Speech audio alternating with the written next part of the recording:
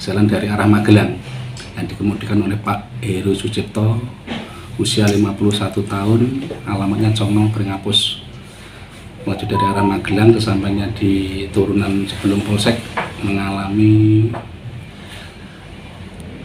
serangan jantung ringan akhirnya menabrak siswa atau siswi SMP demikian Mas Edi Ada korban Pak dari kejadian kecelakaan tersebut?